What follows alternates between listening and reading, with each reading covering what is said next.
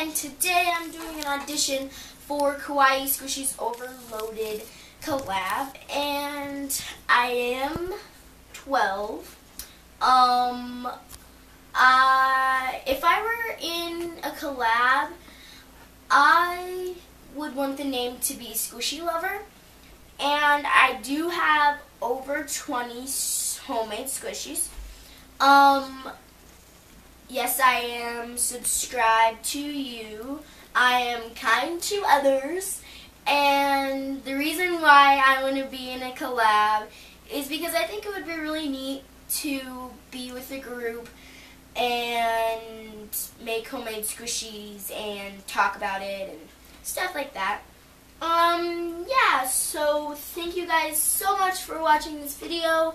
Hopefully Kawaii Squishies Overloaded, you are watching this video, and I will make it in. So thank you guys, comment, like, and subscribe, and see you later.